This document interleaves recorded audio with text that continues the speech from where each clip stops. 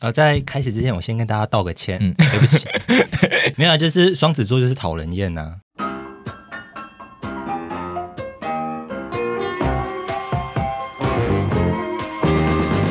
嘿，大家好，今天是一百 passion 神骂玩意儿耳朵开箱版。今天要聊的是沈凡的恋爱开箱。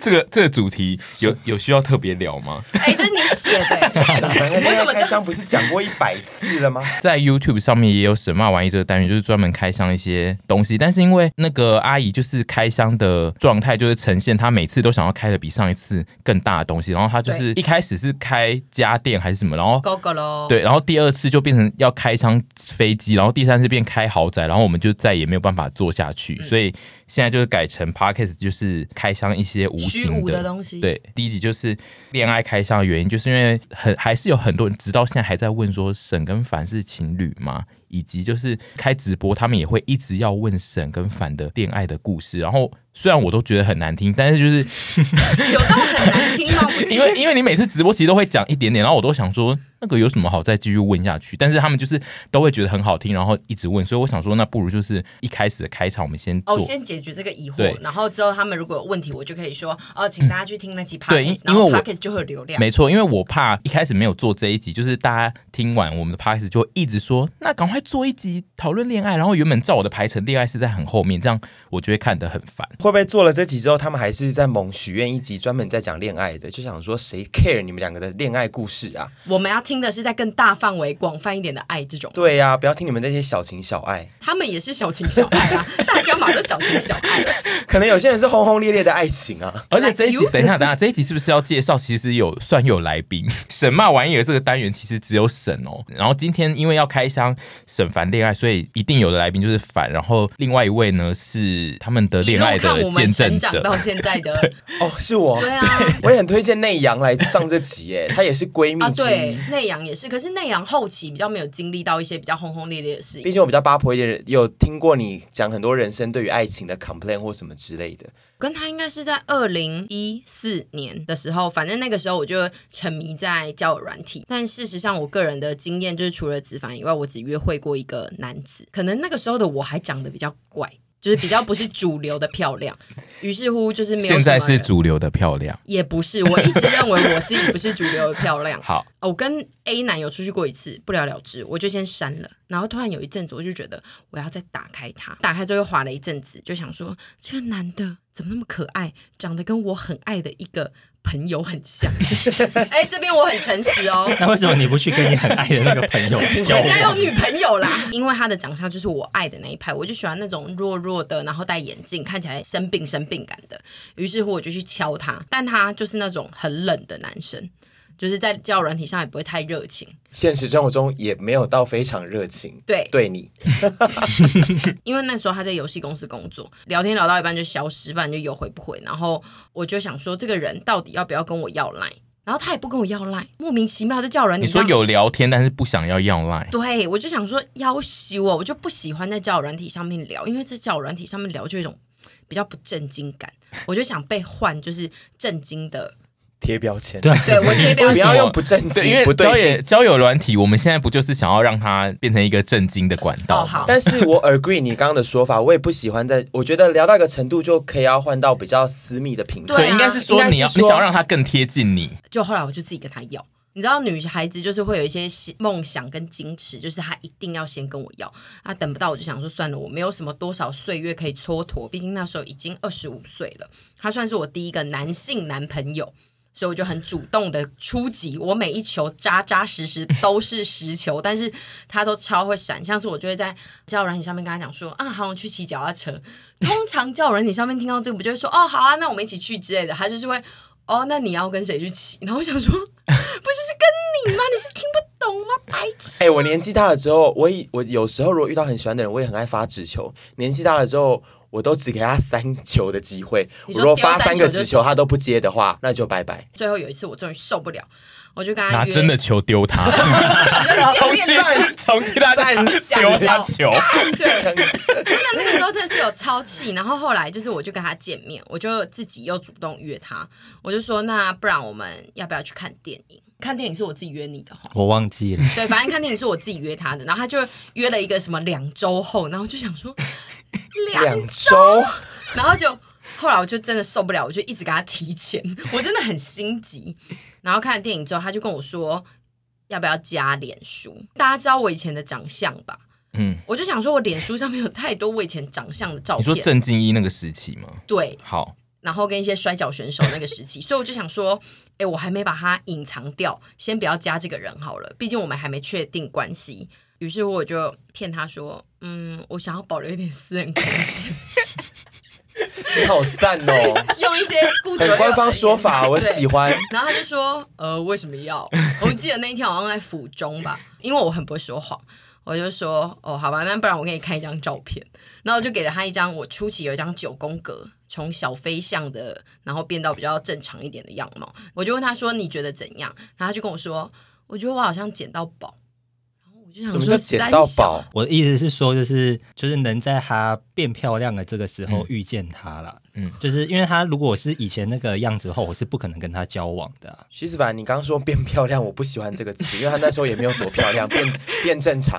我想问屯屯屯，现在在讲那个时候，你那个时候有在他旁边，就是见证这一切，你有要叫她做什么？我从她用一直都有，嗯我从他用交友软体到他刚说的 A 男，这些我都经历过。他那时候 A 男约完会一次之后不了了之，他也蛮沮丧的，就像是我们都是蛮晚进入约会圈的，所以我们会有点不适应说啊被冷漠啊，或者是隐性的被拒绝，比如约会失败或什么这些，我们都不太习惯。那时候遇到徐子凡的时候，那时候我在当兵，快退伍了。天呐，啊女兵日记，对女兵日记，我之后可以聊一起我的女兵日记这个之。后可以做一集耶。真的，我那时候在花木兰，然后他就跟我讲说：“哎、我最近聊了一个对象，超可爱，超像叉叉叉，就是他刚刚说的那个，因为那个叉叉叉是我的某个某个算是我学弟的人。”然后我说真的假的？我看照片，然后他一传来，然后我就说，哎、真的是那个流派的。然后我说还蛮可爱的。然后他就说怎么办？怎么办？我好喜欢他哦。我就说你沉着，沉住气，就不要又吓跑，因为我们两个都是，我们两个又我们两个都是，不是说长相吓跑的人，我们两个都是那一种就是。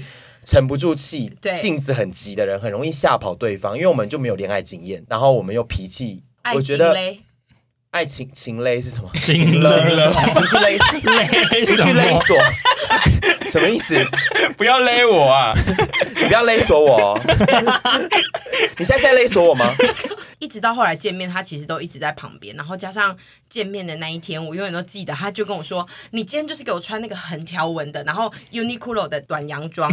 不重要，那个内容不重要，但是我就是当了他哎那个很战袍的重要哎军师”，没对啊错，，因为我就是被那身那件衣服骗了。对真的假的？所以是那件衣服是沈从来不会穿的路线。对他，我跟他交往后，他就没有再穿过这个路线的衣服，但是我是喜欢那种路线的。就是讲说交到男友，我就可以开始穿一些比较辣的啊。反正他先投投其所好，就是穿他喜欢的去跟他约会，然后等到吃到他了之后再说。所以是穿那一件之后就马上有吃到嘛，就是有变成在一起的状态。那一天呢，啊你，讲的那是第一次见面吧？哎、我第一次跟你见面到底是看电影还是？我完全忘记了。对，我其实现在有点，因为我刚刚记得的是我们先看电影，但是我其实记得我们第一次见面好像是我跟他约见面。好，重来好了，嗯，刚刚前面那个不算。就是我们真正人生的第一次见面，我就穿的那个超级可爱的套装，然后我们我就跟他约在那个大安森林公园，然后我就跟朋友说，哎、我今天跟一个男生约在大安森林公园，然后每个人都跟我说，你约大安森林公园干嘛？你们要在那里干嘛？然后就想说，那里有 U bike 可以骑，然后每个人都说。约那里超怪，我就秉持着健康的心，我就去赴约。果然他话就非常的少，但好险的是，因为他是游戏产业，然后我有一些朋友也是游戏产业，就有点稍微聊了一下，然后聊了一下家里啊之类。后来呢，他就说他还没吃饭，我们就一路从大安森林公园走到东门，然后去的路上呢，他也不牵我一路我，讲的多远，也蛮近的、啊，好像就是一嘞条路吧 而且你也讲的太 detail 了吧？走去吃晚餐的路上，我想说这男的为什么不牵我？见了面不是就要牵手吗？后来有这件事吗？没有，就是超不对劲哦，这件事情。好可怕、如果我随便看到一个女生，我就牵她手，我会被逮捕。不是，我就想说，我们已经聊了大概一个月，也有点确定了要见面，就是可能有要发展的意思啊，就签一下才有下一场入场券，然后他就一直不签我，我想说，帮我自己签他，然后签了他之后，我们就先去吃饭，吃完饭我就想说陪他去搭车，然后想说，哎、牵完手不是要接吻吗？好快哦！然后所以我就想说，嗯，我就沿就是把他拉到，诶也不是拉到，就是拐到一些巷子里，然后就亲他。所以就是主动派的意思。我主动到我现在回想，我都想说，我真的是，我那时候真的会被警察抓。对，那我想要就是在这边做一个，就是这个初见面的结论，就是迷惘的丘比丘比特的弟弟妹妹，你觉得他们应该要走主动派的路线，还是我至今还是跟大家讲，你们一定要主动，因为我跟你讲，你在这个男人身上蹉跎一个月、两个月，那时间都浪费掉。你就是一个礼拜就好，然后一个礼拜之后就赶快拿去遇下一个人，不要在那边一个男的他又没有多好啊，你在那边拖，他不是你的就不是你的，你觉得不是你的，你就去下一个。我要呼吁，主动归主动，不要不要性骚扰？不要表现在肢体接触这件这些事情上面，会让人家觉得很不舒服。对不起如果对方真的觉得我第一次没有这样子，那你就很糟糕啊！你知道，主动就是进攻，但不是说手脚的进攻。对啊，我刚刚讲的是主动进攻，我讲清楚我一直有在懊悔，就是我那个时候很冲动这件事情。嗯，对方不管跟你聊的怎么样，有没有要给你亲是另外一回事。，对，所以我有要呼吁大家说不要做这件事情，因为老实说，如果他真的想要把你抓到警察局是有可能的。好险他人就是非常好，好，反正这是错误示范。不是人好不好的问题，就是不是不能这样子做。对，我们就是尽量不要这样。我觉得刚刚那一段他在讲说他把他推到暗巷了，我们应该要放那个悬疑的音乐，等等等等。你说你做了什么事情？我就把他拐到暗巷里面，然后呢？然后强吻他。好我觉得这个真的很可怕哎、就是子凡是双子座，然后大家对双子座的评，就是在恋爱上的评价其实非常的差，嗯，所以我个人是想要就是帮那些网友提问，就是说沈要怎么面对，就是在普罗大众中眼中个性蛮差的双子座。呃，在开始之前，我先跟大家道个歉，嗯对不起，没有啊，就是双子座就是讨人厌呐、哦，你现在是为双子座发声，对，就是对不起，他先道完歉，然后你们再讲一下，就是这种个性要怎么处理啊？老实说，我记不得什么他做过非常轰轰烈烈的事情，但是基本上我的日常生活，我想要去哪里，或者是我需要什么，他不会拒绝我。很多人都会问我说，觉得他做过最甜蜜的事情是什么？嗯，但是我就觉得这好像不是生活中最必要的一件事情，就是我不需要时刻。的甜蜜，然后加上我记性可能也不大好，我也记不住那些事情、啊。但我记得很清楚的，就是他有曾经想要给过我两次惊喜，但是我都没有接到，所以久而久之之后，他就不再给我惊喜跟一些甜蜜的事情。呃，那个惊喜一事件就是冥婚事件，反正就是有一次我去台南跟嘉义出差，然后回来之后很累。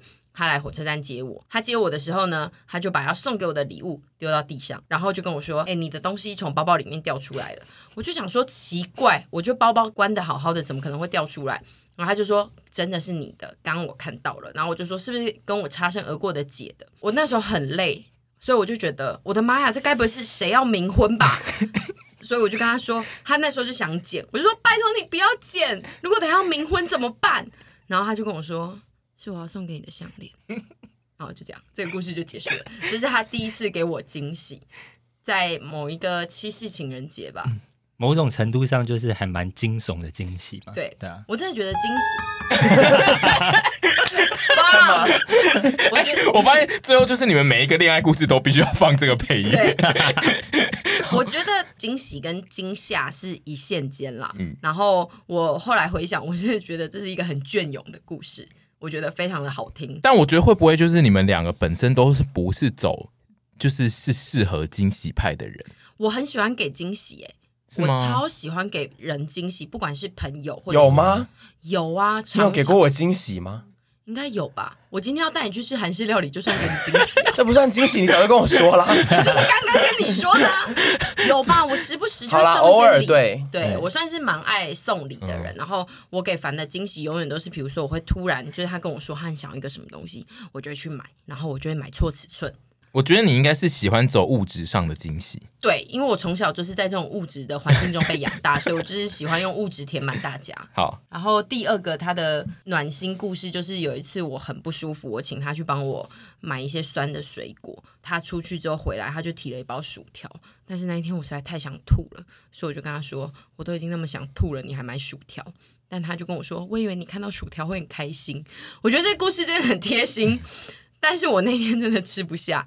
然后这两次之后，他好像就再也没有给我过惊喜了。嗯，我我觉得很烦，因为你本身是有喜欢要给人惊喜，完全没有。我是非常努力的去做了，嗯然后得到的回馈就是好像没有很好，嗯，我就觉得算了。因为我觉得这个这两个故事听下来，就是他会放弃算合理啦，就是没有到所以你那个时候预期我会说耶，地上 有我掉出来的东西耶。但是也我也必须说，就是因为我这个人就是没有习惯在给人惊喜，所以说我可能也做的不是很好。OK，对，所以说就是会有这种很错误的，或是比较偏差的送礼比较笨拙的手法对，，就是也是对我来说也是情有可原了。好想有这两个故事，就是可以有别于一般恋人的故事。但我希望就是这是我们最后一次讲这两个故事，因为我觉得我们已经讲了大概两百遍。没错。我真要讲嗯。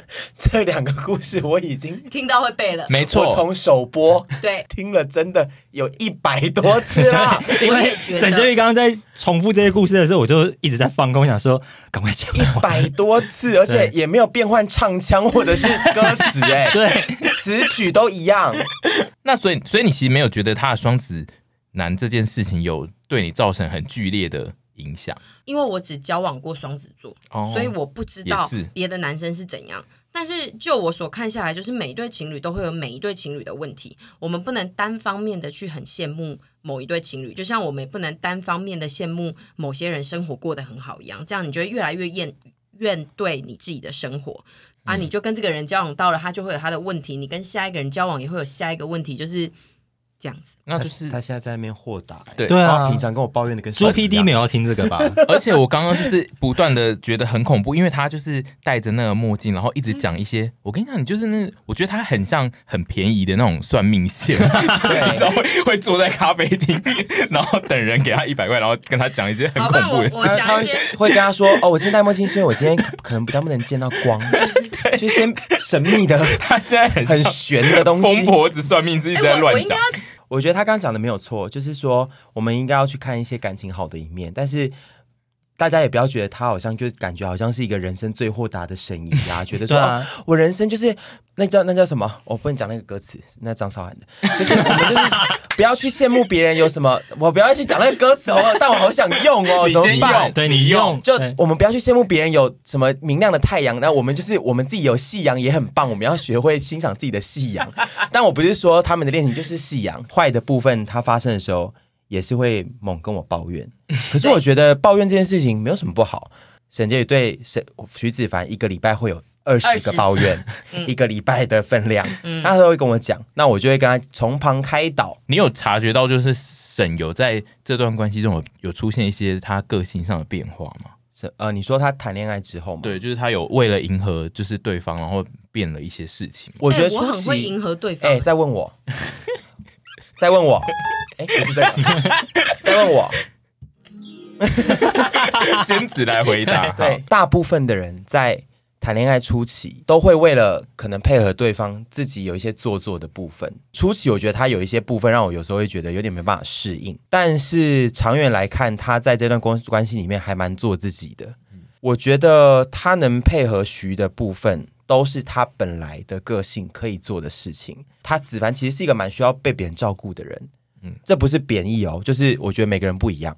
那沈的个性本来就是一个很有母爱的人，那他就只是，我觉得对于对这件事情，他就只是展现他的母爱跟喜欢照顾别人的本质。也有一些部分是沈就是没办法逼自己去改变的，那他也还蛮做自己。吃少一点吗？比如说哦，吃少一点，这我就不讲了。比如说子凡有一些兴趣，子凡听的有些音乐，就真的是你不会听的，你也不会那边说什么、哇，这个歌好有趣哦什么之类的。或者是是有 movie？会有一些电影对，是你真的是不你不爱的类型，你也不会逼自己。我觉得你当然可以去试着去跟对方培养出共同兴趣看看，但是也不用逼自己。真的聊不过来的，聊不聊不来的，你就不用逼自己。那我觉得沈婕妤在这一点做的蛮好的，她这个不逼自己，也不会让凡觉得这女的跟我真的是 nothing in common。有时候你会觉得这个人跟你 nothing in common，你就会觉得走不久。但是我觉得我是不知道，我自己在帮他预设立场，因为你刚刚讲了一走不久，整段是凡的心声嘛对，，所以我说不小心讲他的心声。超意吗？就是沈婕妤也会用，我觉得谈恋爱有时候并不是说你要配合对方去成为对方想要的人，而是你可以让对方觉得你也有自己的人生，然后你有自己的想法跟主见，我觉得这才是走的长久的一段路，而不是你一直去配合。我觉得久了，任何人都察觉得出来。听音乐或者是看电影，就是这种影视的娱乐这种东西，我一直以为这是可以培养的。对我是认识了沈觉里之后，我才发现这是不能培养的。对嗯，我也觉得这看人，对，因为我自己也是因为大朽木，对，就是我自己念的大学，或者是认识的人之后，我才会开始就是发现，就是这些东西的广度其实还蛮蛮大的。对，然后我才慢慢去接受这些东西。然后我一开始以为就是沈婕妤，就是跟我相处久之后，也会慢慢去喜欢这些东西。最后发现就是没有哎、对，我觉得我们像这种我们个性硬的这种人，就是很难。你也不能强求，就是别人变成你一个理想的样子。对，没错，就像是他也不能强求你变成一个爱吃的人，虽然他很爱强求壮。的人，对，就你有在迷很壮的人他吗？稍微壮一点，他的很你很壮也只能到一个康你很贪心哎、你刚刚又说要病弱感，现在又要有点壮。对你又要病对对，我你好像不能跟你们讲这样子、欸，跟病弱感的交往久了，你们觉得很痛苦啊！我觉得如果我本身病弱就算了，但偏偏我就是很容易壮起来，就希望他可以再健康一点，不要就是散个薄半这样子。我觉得他刚刚那一番解释，就是只是在解释说他是个贪心的 人。对啊，那过了磨合期，如果你还是不行的话，你就自己思考这段感情是不是真的走得下去、对啊，因为有非常多人就会觉得，就是时间好像，哎、我收到最多的就是说啊，什么他们在一起很久啦，然后就是什么不好意思分开啊之类的。但我就觉得这种事情不就跟离职一样吗？你既然已经有了这个念头，你最后就还是会走向分开。分手就跟离职一样，想要做的话就去做做看。嗯好，我觉得现在是屯美女打脸沈会长时间。因为他刚刚讲的夺货打败我几百次，从他大概每一季，我现在都要讲时间单位，一季哦，一季会说他他真的好想跟徐分手，大概两次，一季会有两次，没有吧？有就我一季会有觉得两次近几，年比较少，近几年比较少。没有啊，其实去年蛮多的啊、我打脸他不是只是想嘲笑他，而是他讲的也没有错。你有这个念头，你已经不舒服了，那你就要好好思考说，不要将就，不要脱模。大家在感情中试着去面对自己，面对自己完之后，第二件事情就是寻求帮助。就像是他面对自己之后是觉得他现在好想分手，但他第二步寻求帮助，当然他就会来跟我讲，我就会跟他讲说，旁观者跟你们俩那么熟来看，我觉得你现在不是真的想分手，而是你们遇到一些问题，但不是每段关系遇到问题就要分手，这样子，妈的，我觉得这样就感情对你分不完呢。遇到问题最重要的就是一起解决问题，解决不了，我们再来谈分分开这件事情。如果你今天想要分手，就分手。那如果你不想要分手，你就要为了这个不分手而去适应跟理解一些事情，像是你就要知道说你们每次吵架点大概都在哪里。那这些东西他会改吗？他不改，你还要继续跟他一起吗？那如果要继续，你就是选择了未来还是会因为这件事情而继续吵架，跟有可能分手的风险。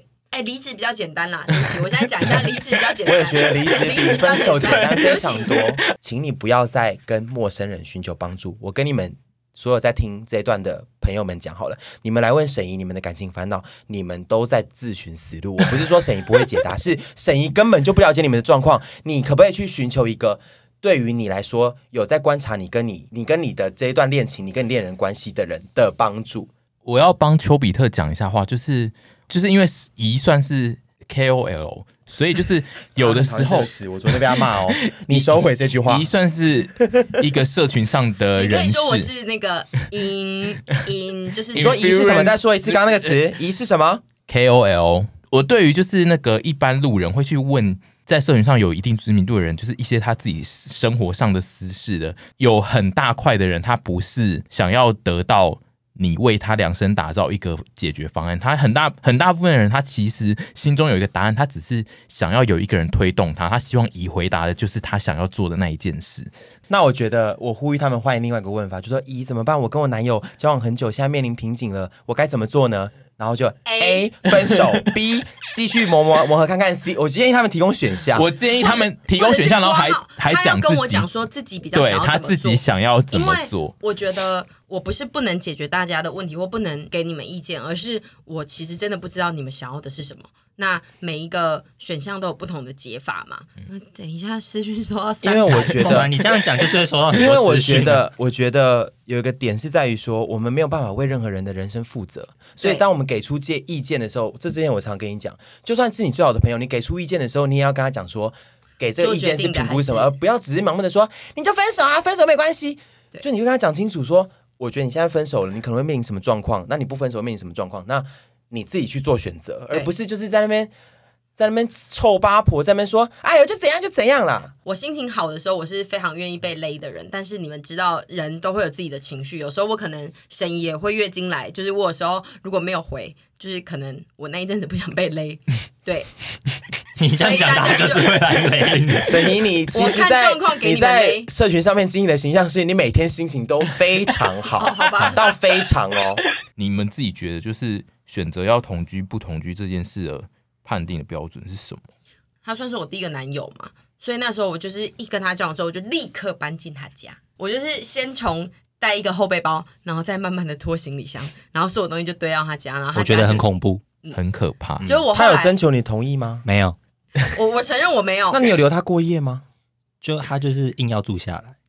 你说他就会，哎他就会哎哎哎，你说他到晚上九点十点就会一直躺在那边这样，不是，就是你来住个一两天那种，都是我觉得还好，就是情侣本来就是会这样，对，但是他是会，你会有这种想说，哎、你要住到什么时候？我觉得他如果拖着 行李箱出现在门口，真的会吓到尿出来。不是，我是慢慢的循序渐进。对他就越住越长这样。你要问他你可不可以久住吧？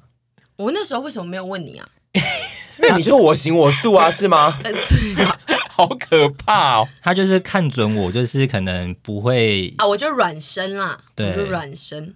OK，在热恋期的时候，我们两个人都有正职，我们都会去上班，就是下班的相处时间，然后就很想把握那个时间，我们就开始在那一阵子同居。到后期，我们自己成为自由工作者之后，又这么常住在一起，我觉得非常的不好。我们非常常吵架，我每天都会觉得他好像因为我而很不爽。哎，是不是有？有啊，没有，好像是有，是有的。就就是二十四小时跟对方相处在一起，你们可能看到的东西几乎都差不多，你们就会开始没有话聊，这是我觉得很可怕的事情。然后后来我就有自己回去住我自己的租屋处，两个人的关系明显的好非常多，因为你们看到的跟能讲的事情，就其实会多很多。啊，要不要同居哦？我觉得这真的是看个人哎、嗯因为有的人生活习惯就是可以磨合啊，有的人就可以眼不见为净忍受，但是有的人就是会斤斤计较，然后有的人就是会改不过来等等的。我觉得这是需要你们自己去确定说对方到底能忍受到什么境界的。同居这件事情，我觉得最早最早最一开始的一个点就是你们两个人有没有想试着同居，啊这才是最重要的，而不是说，哎，我们来同居吧。一个人讲，另外一个人如果没意愿，那你们这同居就注定可能有可能走向失败。对，如果两个人都觉得我们好像可以试试看同居，那就同居。想跟这个人同居，就表示你们有想，你们两个的想法都是你们想要走得更久更远，就必须要更加的了解彼此在生活上的很多小细节。对那同居这件事情就是会看到所有的小细节。一开始我先搬进他家住，最后我们又分开住。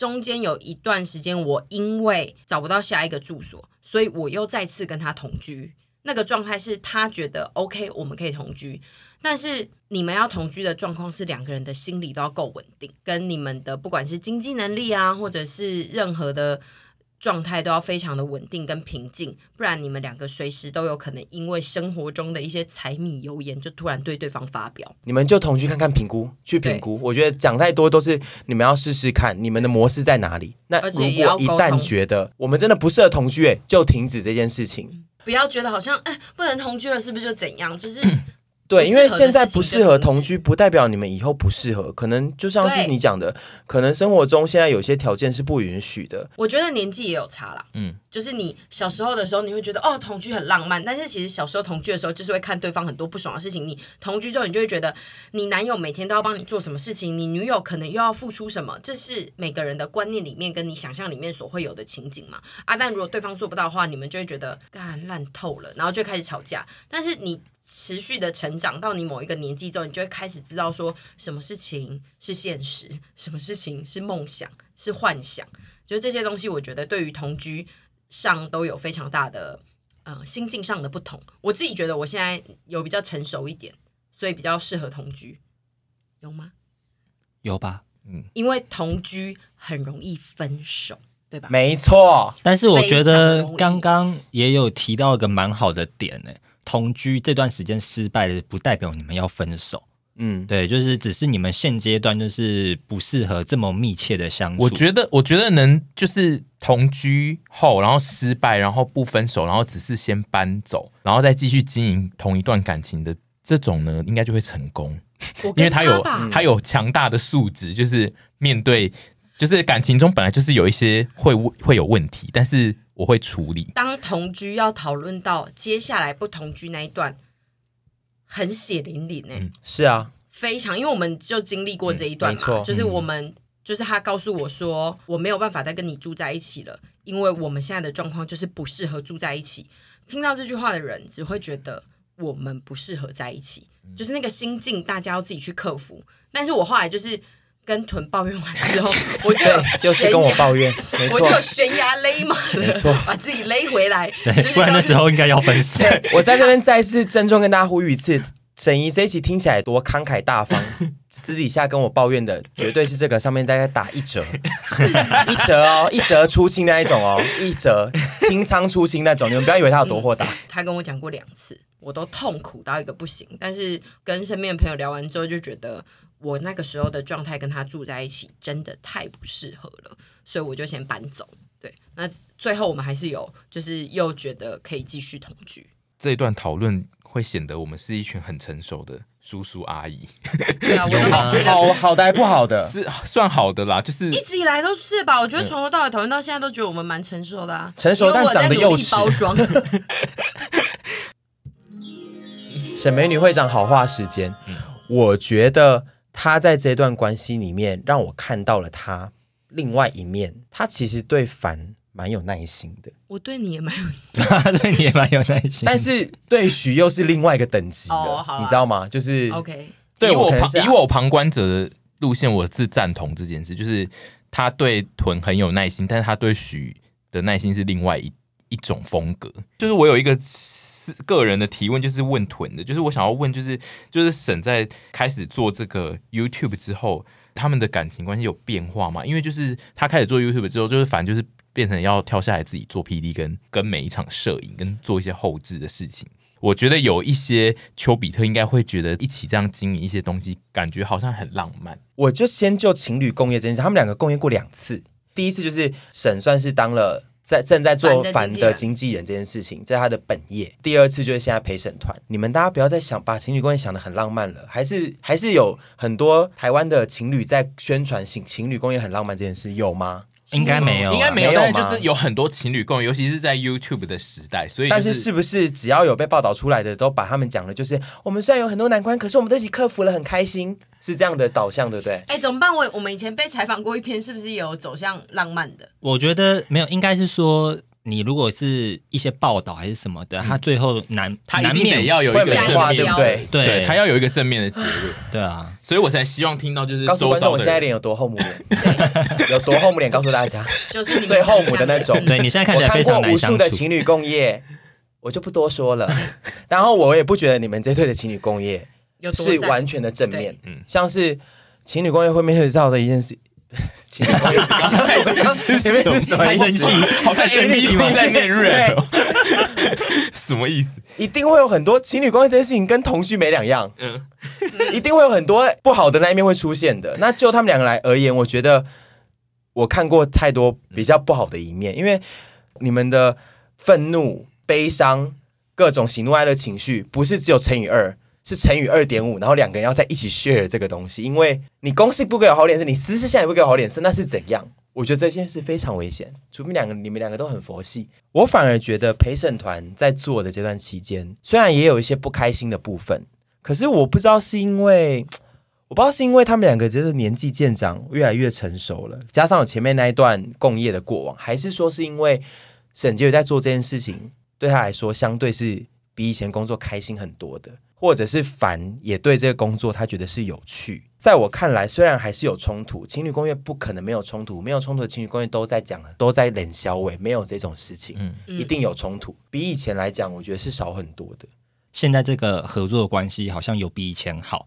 我自己觉得最大的差异是谁在目前，这个差异其实还蛮大的。对，就是变成说主导的人是谁。因为坦白说，是我我这个人还蛮急白的，在工作上，就是我对自己的要求非常的高。如果是我在主导这件事情的话，要配合着我的步调的话，会有点辛苦。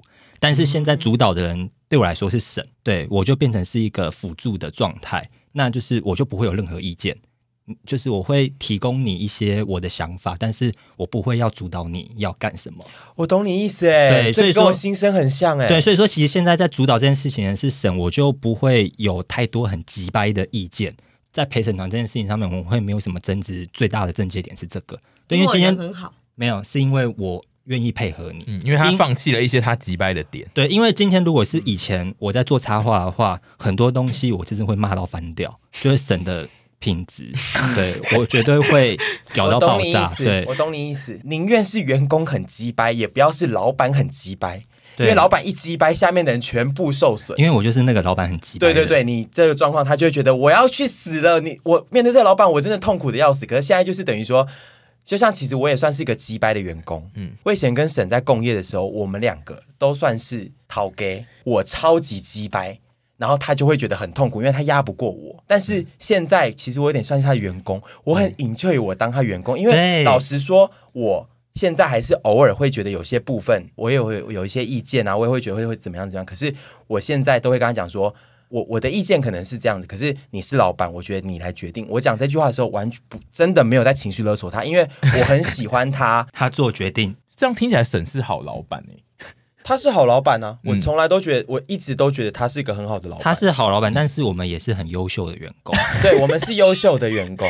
应该我觉得我跟我觉得我跟凡的想想法是心态上的转换，因为我一定会是击败到死的老板。如果我是哎、老板，我绝不当你员工。对，所以我觉得我不当老板。我现在我这几年的心态是，我不当老板比较好。我可以当鸡掰主管，但是我不要当鸡掰老板，因为全公司都会很痛苦很痛苦 到对啊，你真的是好可怕，而且因为你的标准有点让人无法捉摸。因为没有是因为这也是我可爱的地方啊。对，因为我跟屯都是有点艺术家性格的人，因为屯他自己本身是念辐射的，嗯他对就是东西的品质很坚持这件事情，其实我们两个等一很像下。，我也是读设计系，我也是读 art 出来。哎、我不是要指正你，但是你有时候对一些东西比较随性。哎、对等一下，我要说一下，就是我真的的确比较随性跟随便，但我觉得这样人生比较快乐。蛮好 OK，的总之你应该也觉得吧？现在就是变成一群人一起工作之后，都发现自己长大了。结论是这样我。觉得可以毕这样子也真的。三十几岁也真的长大啦。我觉得这一集差不多够了，我要录结尾了。好，哎，怎么那么快？丘比特里面感情感情方面，你觉得他们遇到最最长的问题是什么？最长的就是跟我说他们现在几岁，然后牡丹。我个人呢是牡丹到二十五岁，嗯，然后臀应该是差不多吧。二十九。对，所以基本上这件事情，我觉得我们很难就跟你说你几岁的时候就会出现有缘人，因为毕竟我们不是算命仙，但是有可能你的命格桃花就不是那么的旺盛，所以我们就是耐心等待，然后你需要把你自己做到，你就是慢慢寻找。爱要耐心等待，仔细寻找感觉很重要。这句话我觉得真的觉得很，这这真的京剧哎！那首歌为什么可以那么红？大概里面那首歌为什么那么红？就这句话真的京剧哎，就是他在副歌就是讲了一很正确的话。没错。然后如果你真的觉得你等够了，你就不要那么被动，你就再积极一点，对，你去认识人或什么之类的。但是没有任何人可以告诉你说你做了什么事就一定会做哪些？对，因为我如果叫你去上插花班，妈的，你就是不喜欢插花，那我叫你去干嘛？我觉得那都是我们不要阻碍他们的人生，只是说我们教大方向，大方向就是你，踏出去，你如果觉得我受够了，我在这边坐在原地就一直牡丹下去，你就踏出去试试看，去认识新的人，能怎么办呢？谈感情不就跌跌撞撞吗？你哪有什么人一谈就是那少数啦你？也在跌跌撞撞。对啊，大家都在跌跌撞撞，那你都长那么可爱了，还跌跌撞撞，对啊，好了，那怎么办？就不用录了这集。我觉得是否这集就是希望他们就是可以尝试交友软体。呃，基本上我是不反对大家用交友软体，但是最重要的就是你要保护你自己。嗯，第一次见面不要约太过隐秘的地方，虽然说我没有资格讲这句话。如果对方把你拉到一个巷子里，对，像我就是没有好好保护我自己。像凡就没有，所以就是你如果感受到对方把你拉拉到一个无人的空间，绝对不可以，对对，你要往外走。好，然后如果对方要强吻你的时候，你不想要也要说 no。